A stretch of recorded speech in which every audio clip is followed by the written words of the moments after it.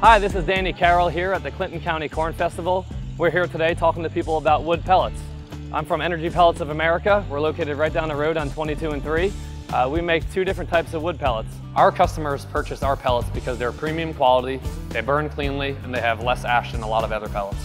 We got animal bedding pellets, which people use for horses, cattle, pigs, different things like that. And we got fuel pellets, which are used in furnaces, boilers, uh, for a heating source throughout the winter season.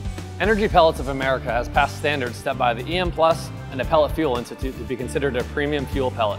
We take old shipping pallets that are no longer useful in the shipping industry, grind them up and make premium fuel pellets. You can buy our wood pellets at www.energypelletsofamerica.com.